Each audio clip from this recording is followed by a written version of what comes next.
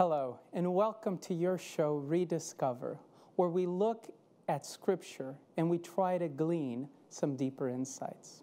Today, I want to invite you as we take an interesting journey throughout the book of Mark. In 1920, a heartbroken F. Scott Fitzgerald wrote his novel, This Side of Paradise. The narrative tells the story of a young man, Amory Blaine, as he embarks on a journey, a trek to discover love, purpose, meaning, and even some sense in an otherwise senseless life. At the end of his novel, Blaine comments, I know myself, and that is all. I've often wondered how this approach to life is experienced as we interact with relationships and other people. And this makes me think about a story. A long time ago, I began dating a lovely woman. And as young lovers usually do, she invited me to have a vacation. Now, she thought that would have been a great thing for our relationship. What I didn't know is we were going to be joined in that vacation by her whole family. I don't think it would surprise you to find out that after a mere five days, I had unbelievable tension in my neck. After seeing me struggle with a stiff neck, she finally took pity on me, looked, and said, I know what you need. You need a masseuse. Now, lest I forget to tell you, we were actually in Central America.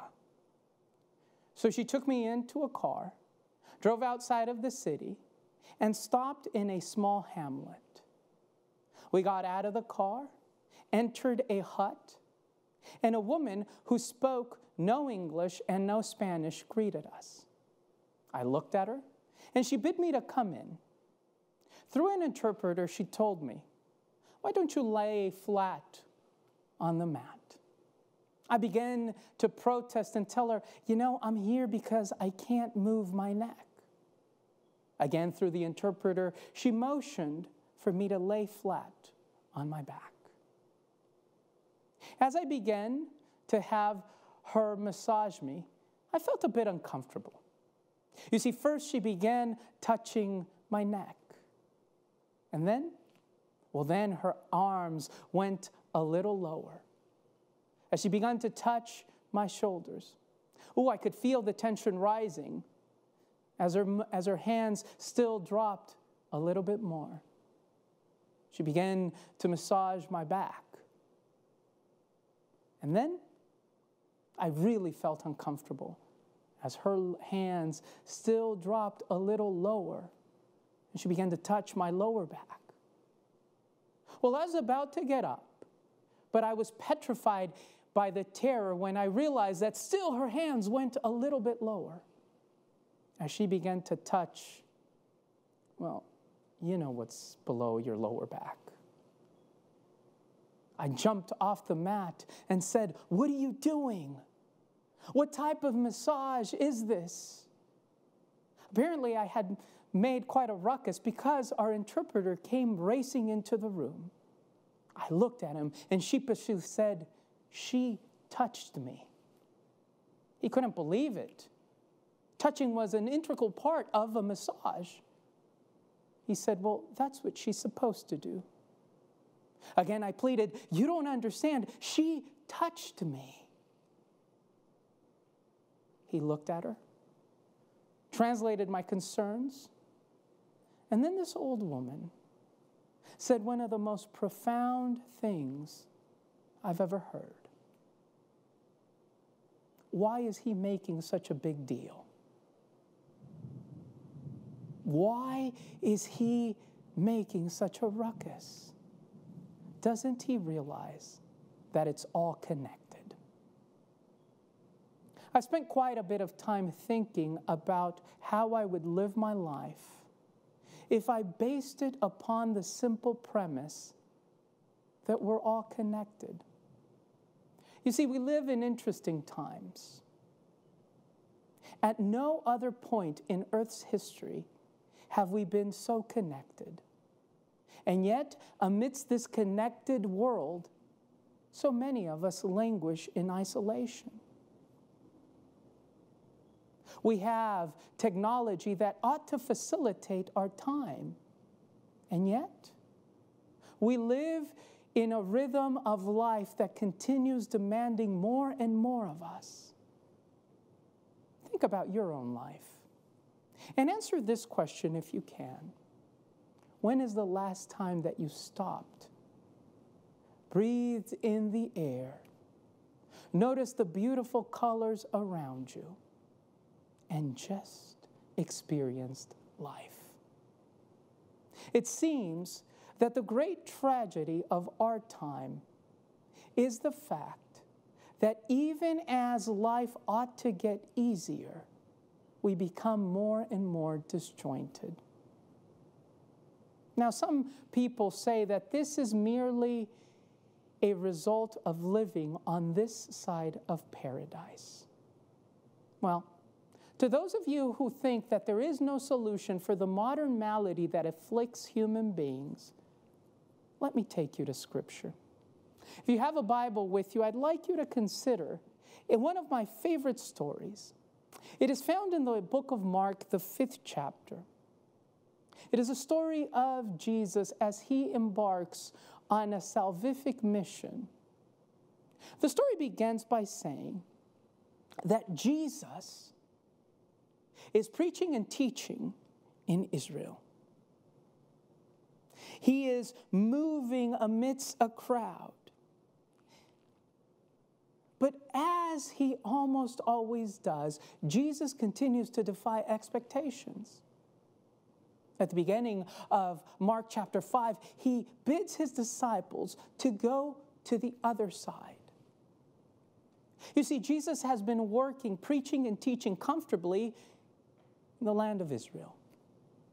But this this tricky trek to the other side involves a complete paradigmatic shift in Jesus' ministry. The other side, Mark will tell us, is the land of the Gentiles. It is the land inhabited by seven tribes.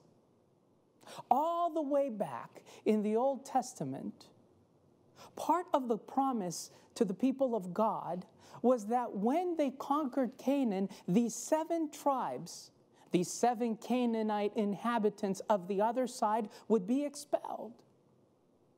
Mark uses the term Decapolis to refer to those inhabitants of, of the other side, those people with whom we want no contact, those with whom we want to remain disconnected. The other side is a place in which misunderstanding abounds. It's a place in which people have tried to adopt the religion of Israel, but they don't quite know how. It's a land populated by misconceptions. And I can almost imagine the disciples hearing Jesus' command to go to the other side, and their memory begins to trigger. Surely they have visions. Oh, visions of Jesus coming and erupting into the other side as a conquering king. Perhaps there's whispers as they travel on that boat. It's finally going to happen. Jesus is going to enact his messianic mission. So they travel to the other side. And Mark then masterfully catches what happens as they step on the shore. And Mark chapter 5, verse 2 says, And when Jesus had stepped out of the boat, immediately there met out of the tombs a man with an unclean spirit. Surely the disciples are expecting to disembark and be greeted by fearful resistance. But instead, as their feet touch the shore, they are encountered by a nude dude in a rude mood. And then, then Jesus interacts. Mark tells us that this man lived among the tombs. Now, often we have this problem with Scripture. We depersonalize it. So today I'd like you to ask to think about this man. No doubt he is a father, a son, a husband. This man now, who is the walking dead, is a story. And in him, you find also the history of a community that is desperately trying to reintegrate him. That is why Mark will tell us that the people around him have often t- tried to bind him up with chains. Which gives us the opportunity to open a parenthesis. No doubt in your life, there are people with whom you don't interact in healthy ways. Maybe they're people you disagree with. Maybe they're people that have left your circle, your community. And you are desperately trying to regain fellowship. Maybe a relationship with a son or a spouse or a parent has been frayed. And you're desperately trying to find a way to reunite.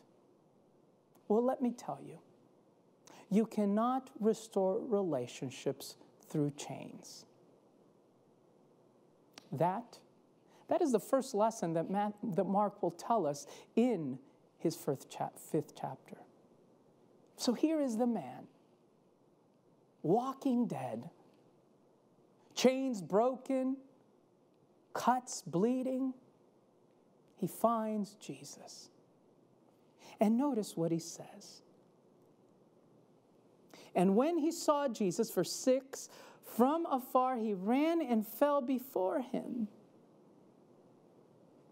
And crying out with a voice, he said, What do you want with me, Jesus, King of the Jews? Ah, it's almost as Mark is capturing this whole struggle that the man has.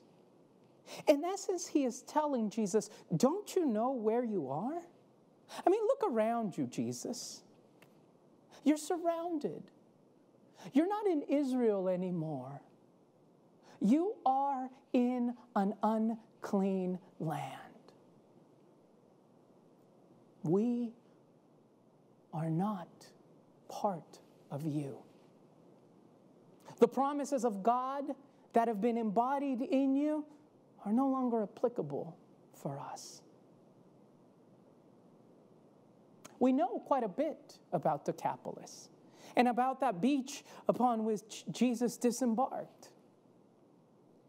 We know that on one cliff, you have a herd of pigs.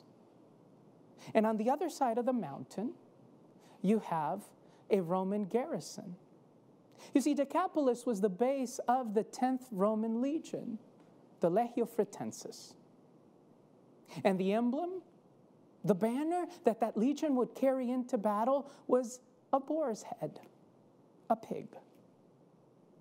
So you see, when Jesus disembarks on the other side, a side populated by misconceptions, he is really invading an unclean land. So the man tells him, What do you want with Jesus with me, Jesus? I am an unclean man, and you, you are an unclean. You are in an unclean land. And Jesus will ask a question. And it's a question that's poignant as he prods the very source of the problem. It's a simple question. In essence, Jesus says, What's your name? Again, the man will respond, My name is Legion, for there are many of us here. My name is Legion. Can't you see where you are, Messiah? Look around you. You've got pigs on one side, a legion on the other, and the hosts of the one that would disconnect us from you dwelling in me. I am legion, for we are many. And he begs them Jesus will take a step back. And in that same gentle voice that created cosmos out of chaos, in that same firm voice that spoke the world into existence, he delivers the man. Oh, what a scene that would have been.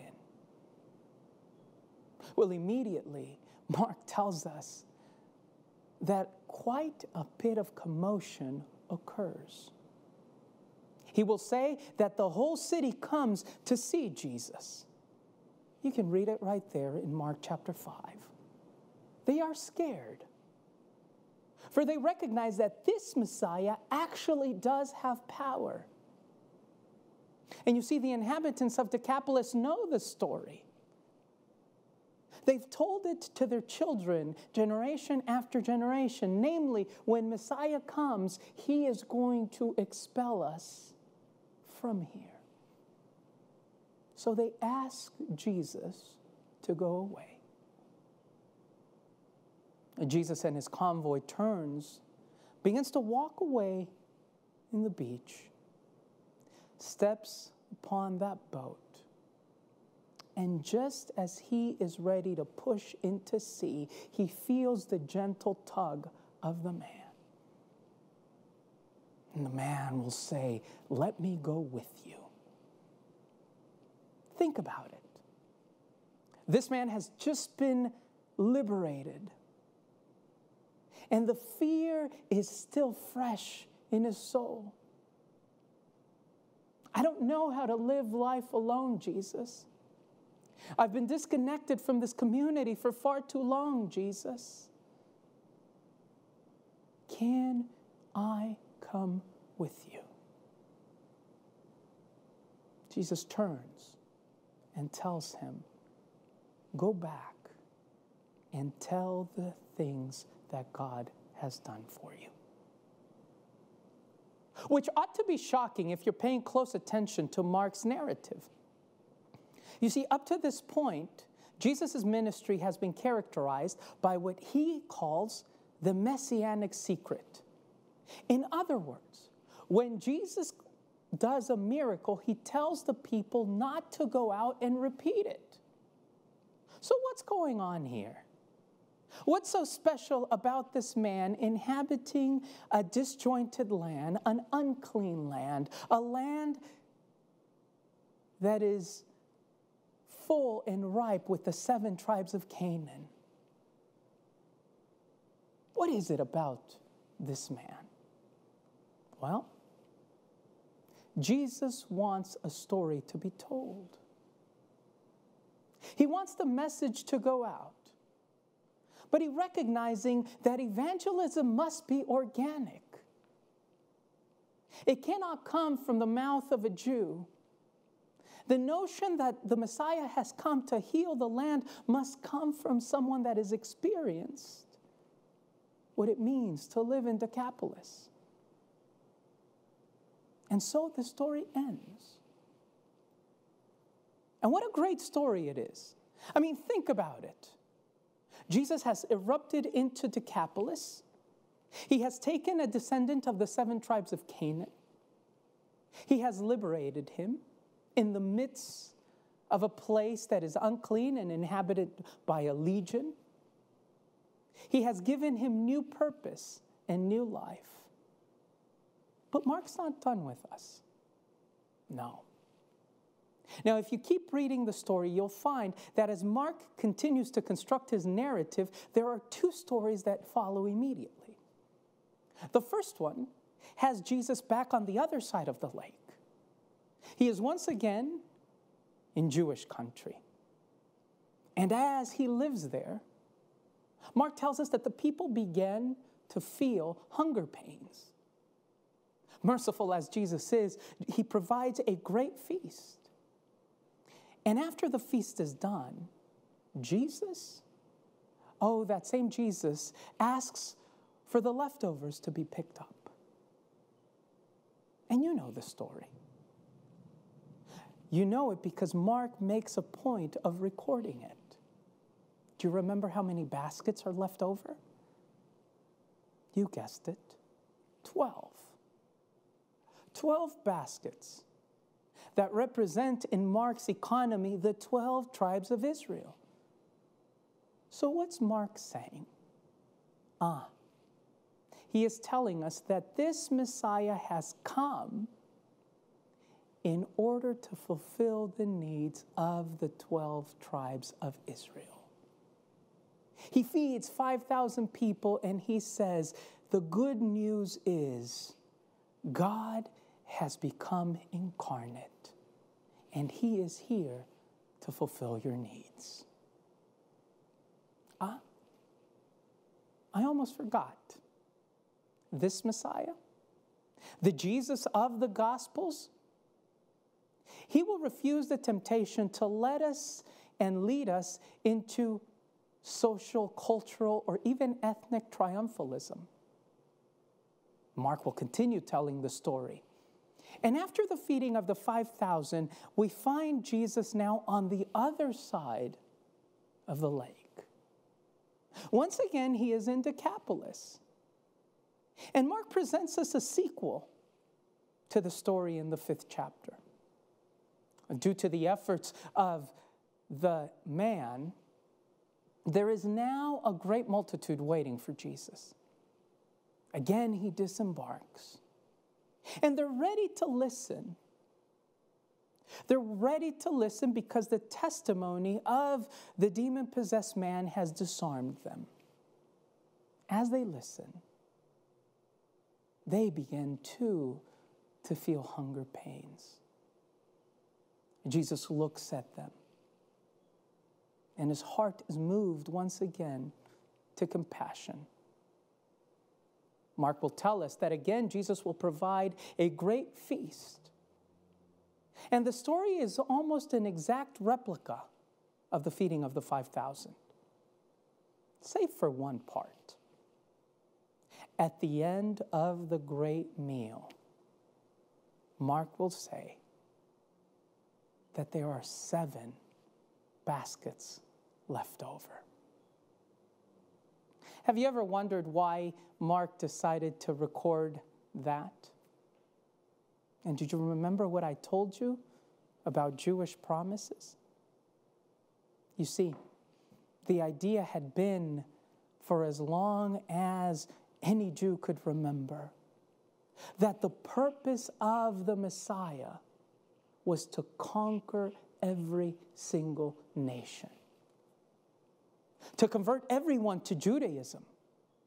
The Jewish people were going to be the people of God, and if you didn't join them, then you would be destroyed.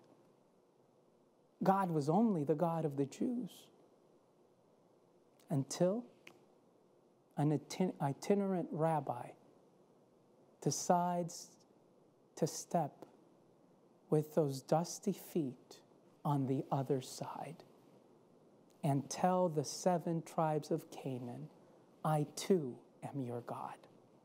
I too will fulfill your needs. So, how does that impact us?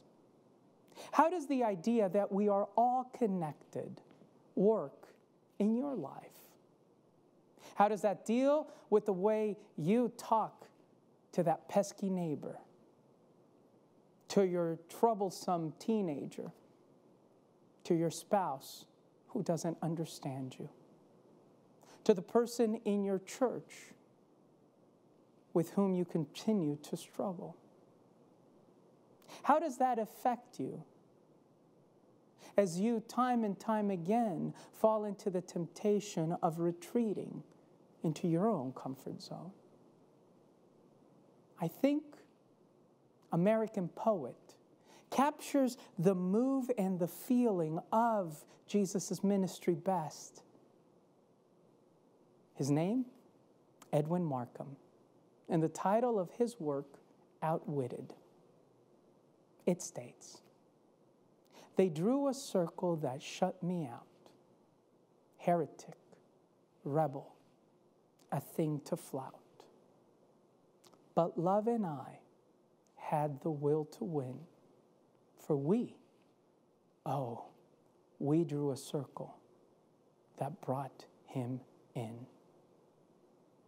You see, what I'd like you to rediscover today is this simple truth Jesus, Jesus is both the God of the 12 tribes of Israel and the God of the seven inhabitants of Canaan.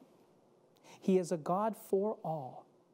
He is a universal God, a God that transcends politics, ethnicity, and social status. That great 20th century theologian, Dietrich Bonhoeffer, probably says it best when he writes The kingdom of God can only be experienced in the thick of foes. So, my prayer for you is that as you move forth through your life, that you may rediscover that we're all connected. Can I pray with you? God, to those of us who live on this side of paradise, we pray for the courage to move from our own comfort zone and recognize that we are all in some way connected. In the name of the one who crosses time and space in order to redeem us, Jesus. Amen. God bless you.